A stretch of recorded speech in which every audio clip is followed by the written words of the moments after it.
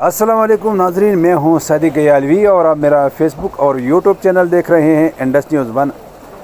नाजरीन, आज हम आपको लेके जा रहे हैं तहसील कंदिया। कोस्तान का एक पासमानदा गाँव है और ये आप देख सकते हैं कि कच्चे रास्ते और कच्चा सड़क और ख़तरनाक रास्तों से हम होते हुए कंदिया आज जा रहे हैं। तो हम लोग अभी स्टार्ट करने वाले हैं।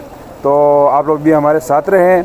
और आप लोगों से भी रिक्वेस्ट है कि हमारे चैनल को सब्सक्राइब करें लाइक करें और फेसबुक पेज को हमारा फॉलो ज़रूर करें।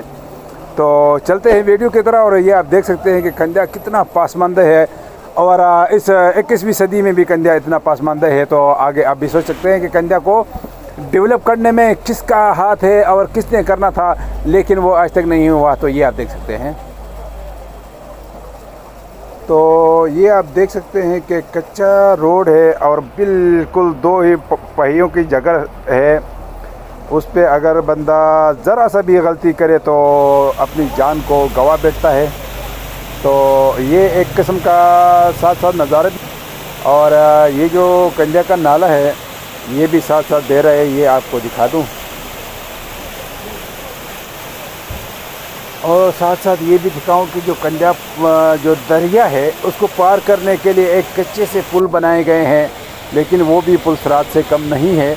तो ये आप देख सकते हैं कि बहुत ही छोटी छोटी लकड़ियों से ये पुल बनाया गया है, लेकिन पानी का बहाव इतना ज़्यादा है कि अगर कोई खुदा न खास्ता इसमें बंदा गिर जाए तो वो बहा कर ले जाएगी। तो ये भी आप देख सकते हैं।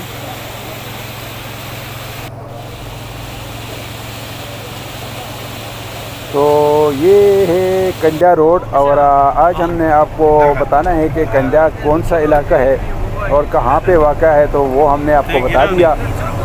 कंजा कोस्तान का एक आखिरी तहसील है और बहुत ही पासमानदा तहसील है और बैकवर्ड एरिया है। यहाँ पे कोई तरक्याती काम अभी तक नहीं हुए हैं और लोग अपनी मदद, आप ये कभी कभार ये रोड बनाते हैं, फिर दोबारा स्लाइडिंग होती है फिर दोबारा महीनों तक ये रोड ब्लॉक रहता है और लोगों की मुश्किल में इजाफ़ा होता जा रहा है।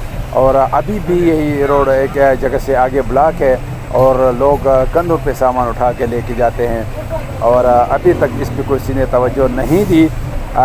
हालिया तो इसी तहसील से दो नुमाइंदे मंतखब हुए थे, बल्कि एक तीसरा तहसील चेयरमैन भी यहीं से मंतखब हुआ है।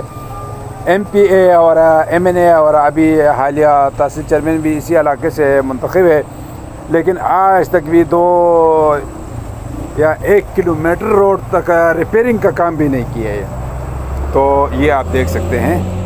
नादरीन ये था हमारा आज का प्रोग्राम और इन हम अपने इस प्लेटफॉर्म के ज़रिए आपको मजीद कोस्तान के इलाके और जो गिलगित बल्दिस्तान और दूसरे के पी के के जो मुख्तलिफ़ सैर व सियाहत के इलाके हैं और जो मुश्किल है जहाँ पे वो भी हम आपको दिखाएँगे। तो आप लोगों ने भी हमारे साथ रहना है और ये था हमारा आज का ट्रैक। इन दूसरा प्रोग्राम लेके जल्द आपकी खदमत में हाजिर होंगे। तब तक के लिए मुझे दीजिए इजाज़त। अल्लाह हाफिज़।